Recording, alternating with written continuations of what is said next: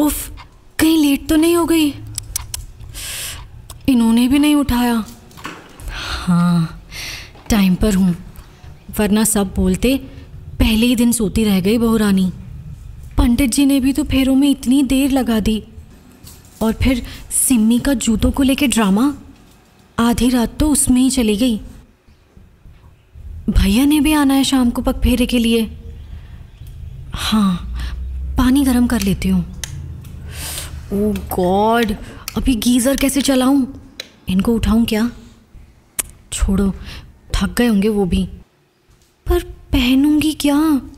Suit या साड़ी? पहले decide कर लूँ। पता नहीं कितने लोग आएँगे वहाँ। छोड़ो यार, सूट ही पहन लेती हूँ। साड़ी शाम को देख लूँगी।